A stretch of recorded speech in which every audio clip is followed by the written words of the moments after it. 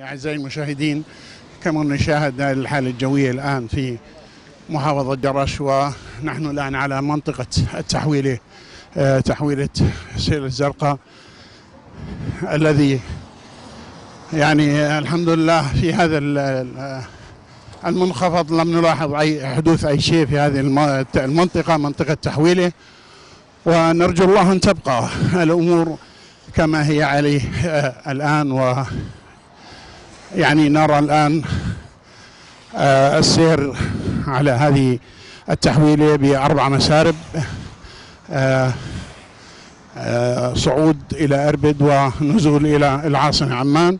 الحمد لله رب العالمين. نرجو أن تبقى الأمور على هذه التحويلة في هذه المنخفضات وغيرها.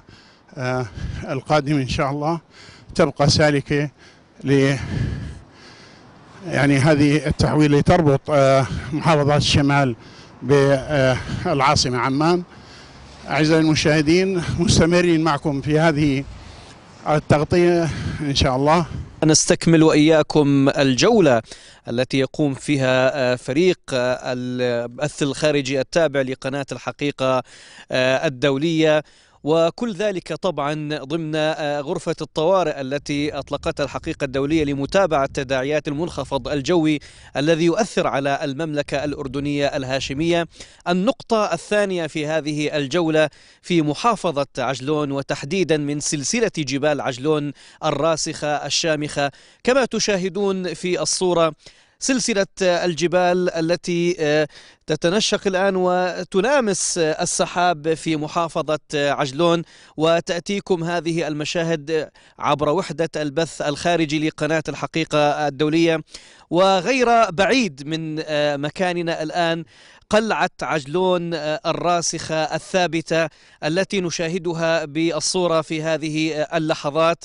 درجات الحرارة متدنية جدا في هذه المنطقة و- ودعونا نعرف المزيد أكثر حول هذه المنطقة وتحديدا قلعة عجلون أو قلعة الربط كما يطلق عليها أصحاب هذه المنطقة والمعلومات طبعا مع سعادة الدكتور زكريا الشيخ. السلام عليكم دكتور مرة أخرى. وعليكم السلام والله يعطيك العافية.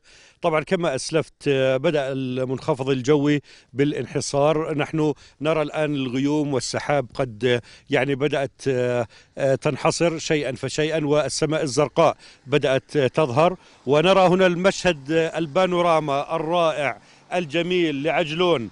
بعد المحطة الأولى جرش. نحن الآن في عجلون ونشاهد أيضا هذا المعلم التاريخي الكبير وهو ما يسمى قلعة عجلون أو يسمى قلعة الربض أو تسمى قلعة صلاح الدين الأيوبي كذلك. طبعا هذه ضمن سلسلة جبال بني معروف وهذه سلسلة الجبال أيضا المطلة على فلسطين آه، الذي يعني ساهم ببناء هذه القلعة. هو القائد المعروف آه، آه، عز الدين أسامة وهو من قادة آه، البطل صلاح الدين الأيوبي. وقد اتخذ من هذه القلعة التي بنيت عام 1184 ميلادي أو ما يقارب ال 580 هجري آه، للهجرة.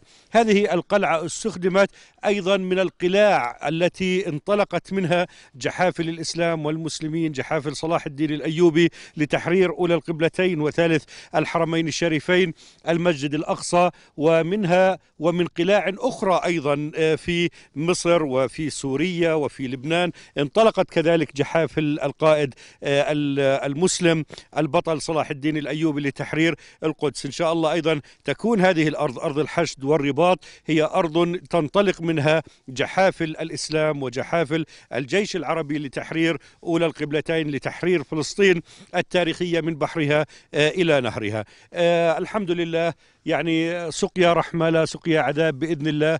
آه، أمطار غزيرة سقطت بالأمس لا يوجد هناك أي ثلوج كما نرى وتوقفت الآن توقف سقوط آه، الأمطار. وبإذن الله سبحانه وتعالى آه، سوف نستمر بجولتنا سوف نذهب الآن قليلا قليلا إلى الشمال.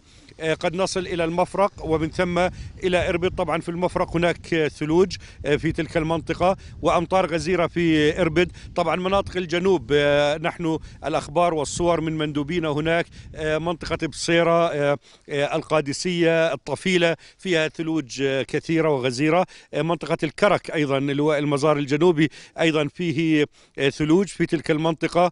وإن شاء الله الحقيقة الدولية تستمر ضمن جولتها الميدانية. ولكن نغتنم الفرصة نستمتع برحمة الله سبحانه وتعالى بالأمطار. ونثقف أنفسنا أيضا بالتاريخ وبالسياسة. نسيح في الأرض ونرى يعني جمال الخالق سبحانه وتعالى خلق الخالق سبحانه وتعالى جمال الطبيعة جمال الأردن هذه البلد السياحي الطيبة. فإذا رأينا هذا المشهد البانورامي الآن لعجلون الجبال هضاب الجبال تلامس السحاب والشمس تندمج مع الأمطار ويعني منظر جميل جدا.